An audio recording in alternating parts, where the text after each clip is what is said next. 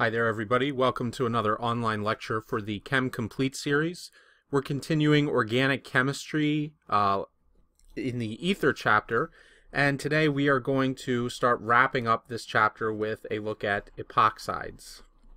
So, epoxides are cyclic ethers that form three membered rings. So, for instance, if I had a six membered ring like this, I could have an epoxide that's coming off of the side as a three-membered ring. So I've got an oxygen here.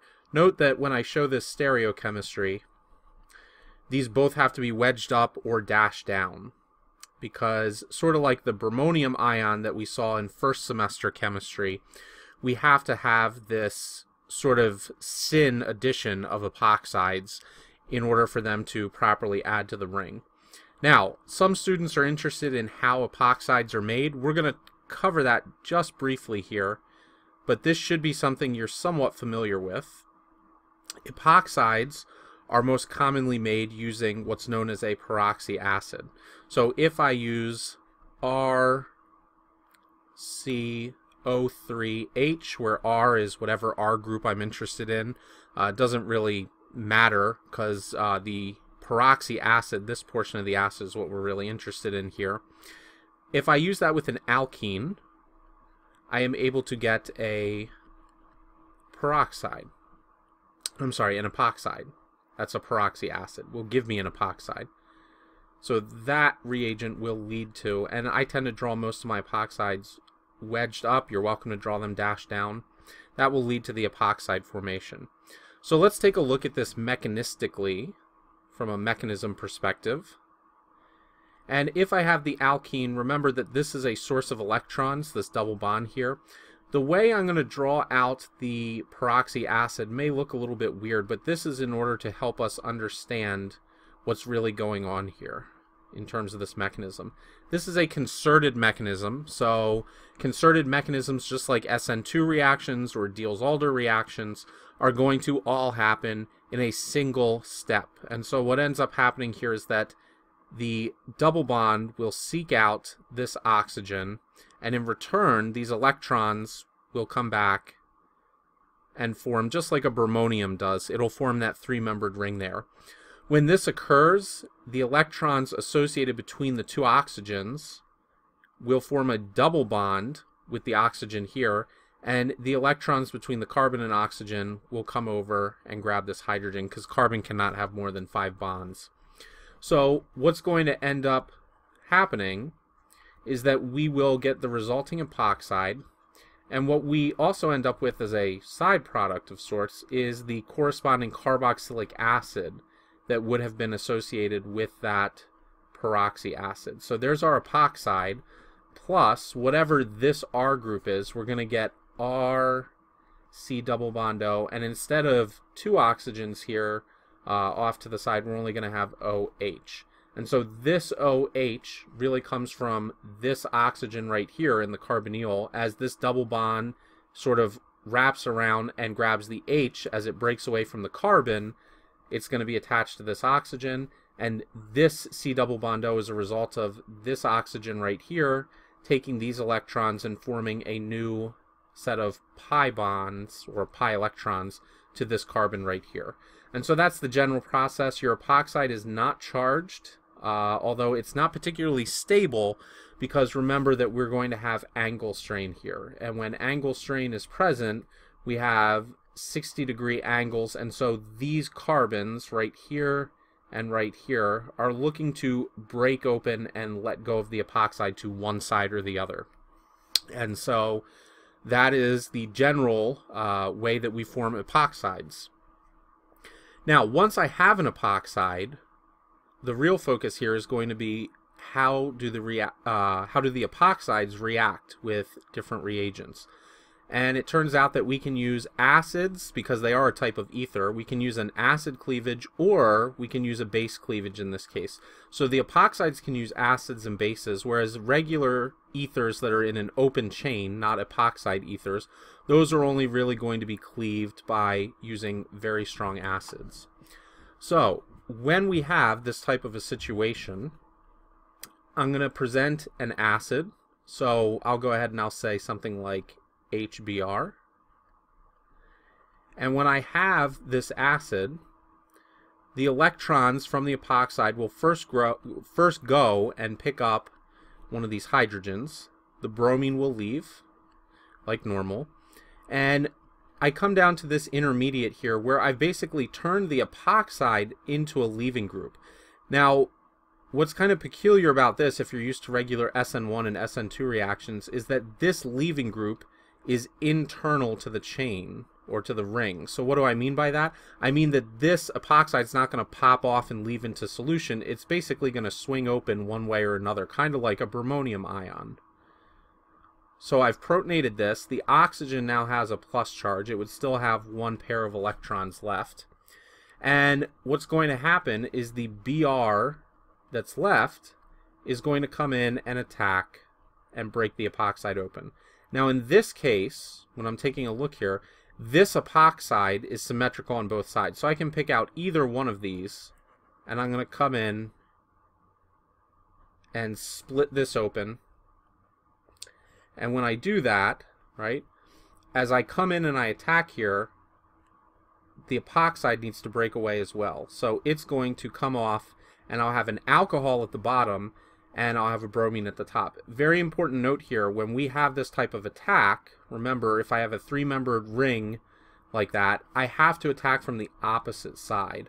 And so when I do this, I'm going to end up with the bromine here, and I'll end up with the alcohol down here with the original stereochemistry that the epoxide had, right? So I could also say that there's an implied hydrogen here and an implied hydrogen here. And so that would be an acidic opening, okay, of an epoxide ring. This is an acid opening of the epoxide ring.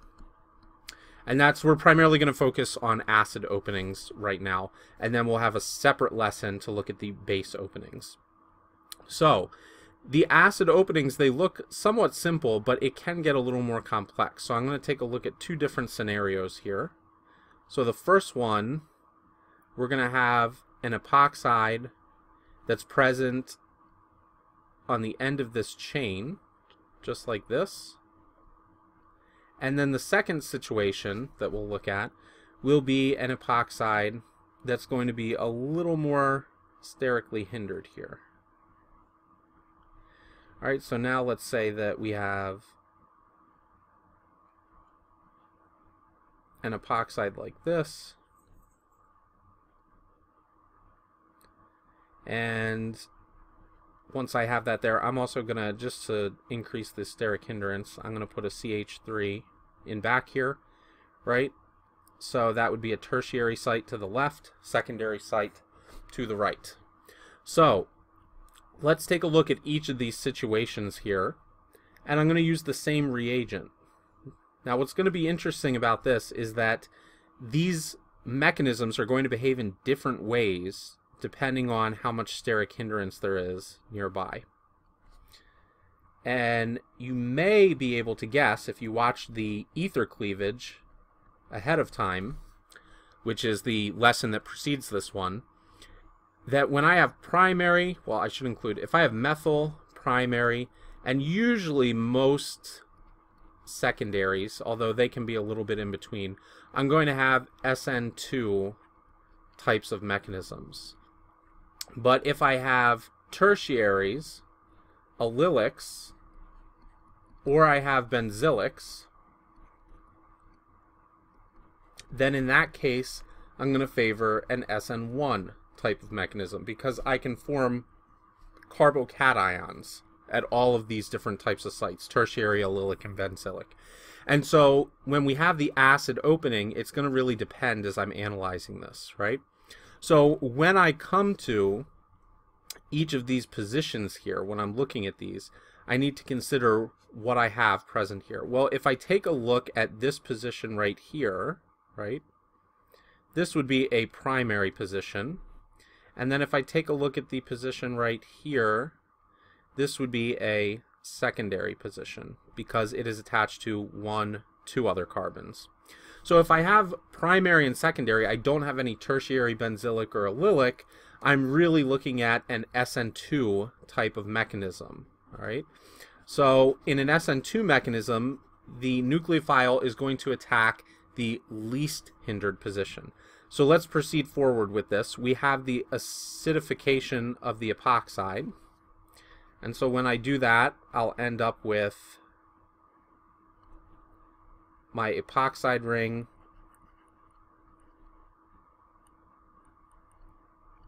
that has a hydrogen, right? With a plus charge, that plus is on the oxygen. And then the Br is going to come in and act as a nucleophile. But in this case, this, the sides are not symmetrical. So I, it's not like that ring case that I had before. Well, if I'm favoring SN2 type conditions here, this bromine is going to come in and attack the least hindered position, meaning it's going to attack the end portion here. That's going to break the epoxide open, sending the alcohol to the more substituted position. So what comes out of this reaction is going to be it's it's a similar result as before in terms of the fact that I'm going to have an alcohol and I'm going to have a bromine, but now when I take a look at this, the bromine will exclusively attack at this site right here. I will not see a bromine attacking the secondary position in this case because I'm favoring the SN2 type of mechanism. Now, the reason I set up this one down here with a tertiary site is because we really switch mechanistic details. So these can be a little bit confusing because they're very conditional. It depends on what is present by the epoxide when I'm looking at these. So, in this case, I've got secondary over here on the right, and I've got tertiary over here on the left. Well, because I have a tertiary present now, I start favoring SN1 type mechanisms. So, when this occurs, I'm going to come out, grab the hydrogen, bromine can leave, and when I create this internal leaving group, so to speak, this leaving group will not have a problem sort of popping open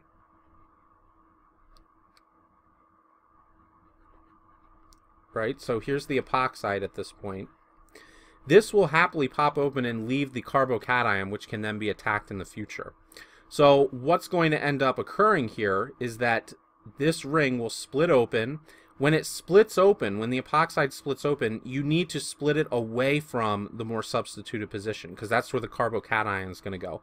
So if I split this bond off, what's going to happen is that the next time that I take a look at this molecule, I'll have the CH3 here, right? That's where the epoxide broke off from. And this site right here, this tertiary site, will contain a carbocation, a tertiary carbocation, which means that the alcohol is now hanging out in the secondary position.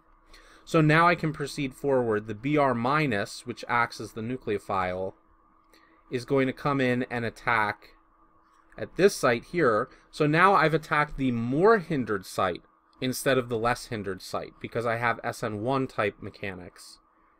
And that really changes the outcome as far as the regiochemistry is concerned because now I have the CH3, the BR. Keep in mind, I could attack from either way here, right? So I'll go ahead and I'll say that the CH3 is in front. This BR came in from the back.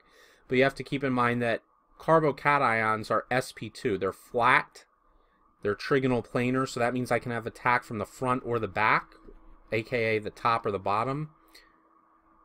And so what I will end up with here, the main point that I want to point out here is that the halogen here ends up in the more substituted position, right? And the halogen here ends up in the less substituted position.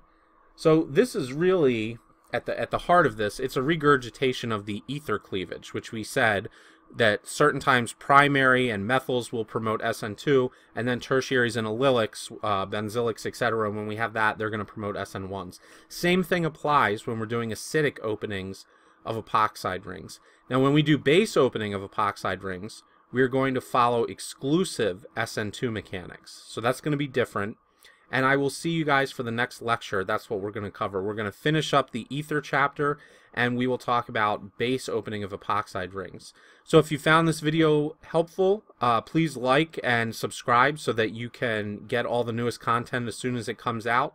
And if you have any questions, you're welcome to leave comments, um, and I will get back to them as soon as possible. So thank you guys very much for your continued support, and I will see you for the next lesson. Take care, guys.